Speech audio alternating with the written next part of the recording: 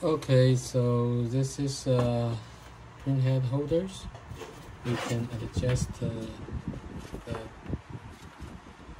size of the stick by unscrew the clip. Okay.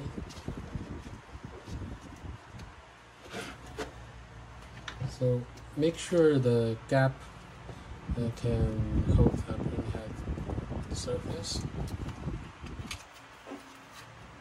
Okay, okay, and make it tight so it won't uh, move around.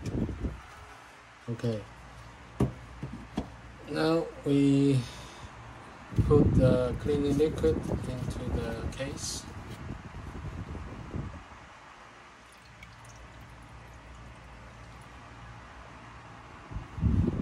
Pay attention to the level.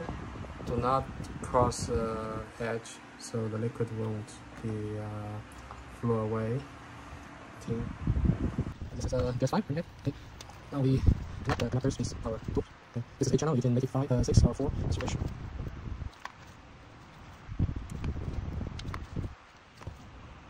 Okay, so connect firmly, put the connect into the case. Okay, let's take a look at the filter here. because this machine has two directions to clean the print head. Uh, firstly, we suggest to draw ink from the surface to the connector this way. This way, so can draw the clock material dark. So we can see there's um, error marked here. So when we draw the liquid from here, it means the liquid this circle. So we turn this filter on, this means on, and uh, another one must be closed.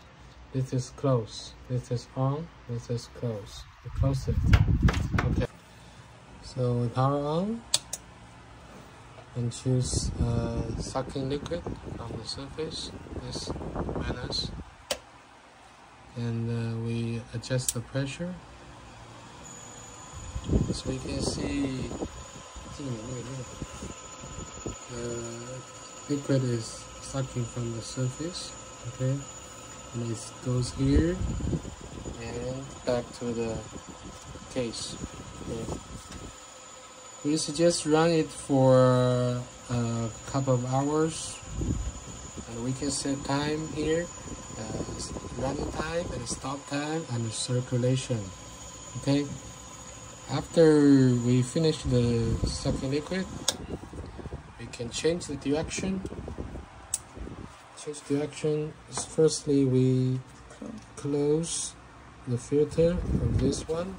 And also turn on this one. Okay. Now we uh, turn to plus is pushing liquid. And then we adjust pressure. As we can see the liquid is coming. Yeah it's coming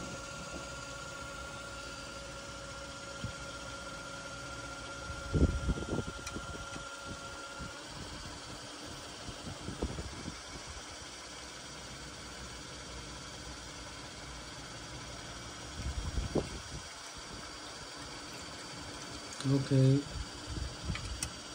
Oh.